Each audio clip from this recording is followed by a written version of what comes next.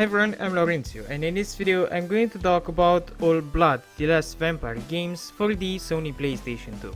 Okay, so the two games, Blood, the last vampire, are interactive novels.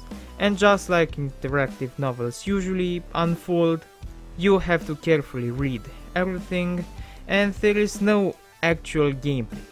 It's just you reading lots of text and listening to the voice acting and looking at the animations and from time to time you get the option of choosing left or right. I mean, you get the option of branching, you can choose a path. The games are made after the anime, and since I haven't watched the anime, I don't know if the story in these two games is from the anime or is an original one. But what I know is that people who play the two games say that you're better off watching the anime, as playing the games is tiresome.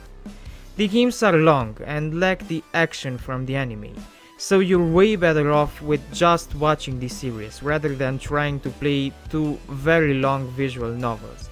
The games take you around 40 hours each to finish, and the experience is rather underwhelming. Unless you're a big fan of the anime, of course. Or you really like visual novels.